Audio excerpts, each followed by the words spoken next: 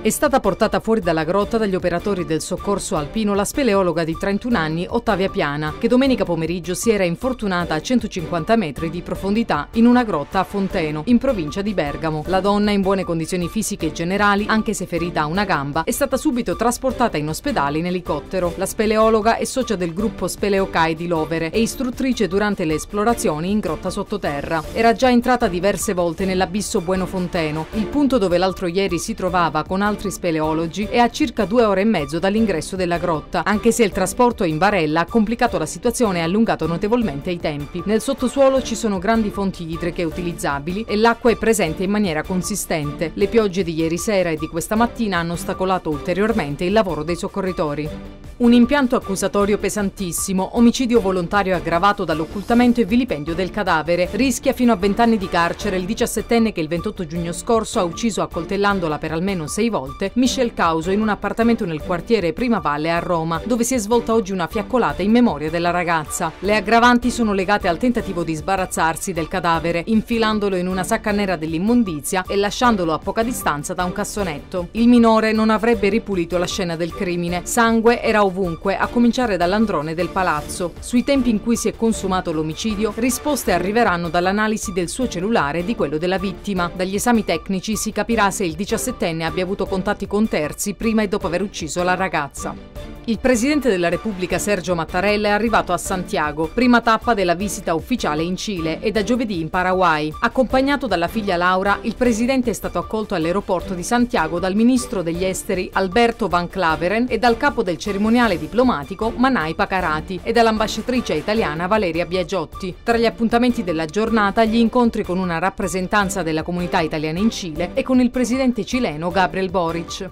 Questo del Pantheon è un impegno che io avevo assunto poco dopo il mio arrivo al Ministero. In otto mesi siamo riusciti a realizzare prima l'impianto amministrativo e poi l'impianto anche tecnico per arrivare a questo punto. Lo dice il Ministro della Cultura Gennaro San Giuliano al suo arrivo al Pantheon di Roma, dove ha preso il via il pagamento del biglietto. Una novità accolta senza problemi dai turisti, disposti dalla prima mattina in file ordinate. Anche il Ministro ha il suo biglietto mostrato sullo smartphone. Anche se sono residente a Roma da 35 anni ho voluto pagarlo. Il Pantheon è il sito museale più visitato in Italia, con 9 milioni di visitatori, aggiunge. Il biglietto è abbastanza modico, appena 5 euro. I cittadini romani sono esenti e vale tutto il sistema di modalità gratuite già garantite per una serie di categorie. Ad esempio i giovani fino a 18 anni non pagano nulla, fino a 25 pagano 2 euro, che ora sono 3 euro perché c'è il contributo dell'Emilia. Le persone disabili e i loro accompagnatori non pagano, come non pagano i docenti quando portano qui le scolaresche. Ci sono anche qui le domeniche gratuite, più i tre giorni che io ho aggiunto il 25 aprile, il 2 giugno e il 4 novembre. Gli incassi vengono ripartiti tra il Ministero della Cultura, che però vincola queste risorse alla tenuta, alla curatela e alla rigenerazione di questo sito, e un altro 30% va alla Curia, che si è impegnata a destinare una parte ai poveri di Roma è stata depositata alla Camera la proposta di legge unitaria sul salario minimo da Movimento 5 Stelle, Sinistra Italiana, Azione, PD, Europa Verde e più Europa. La proposta di legge, intitolata Disposizioni per l'istituzione del salario minimo, è firmata da tutti i leader dei partiti di opposizione che sono anche deputati e dai rispettivi capigruppo a Montecitorio. Si compone di otto articoli. Il primo articolo prevede che in attuazione dell'articolo 36 primo comma della Costituzione i datori di lavoro, imprenditori e non imprenditori lavoratori sono tenuti a corrispondere ai lavoratori di cui è all'articolo 2094 del Codice Civile una retribuzione complessiva sufficiente e proporzionata alla quantità e alla qualità del lavoro prestato.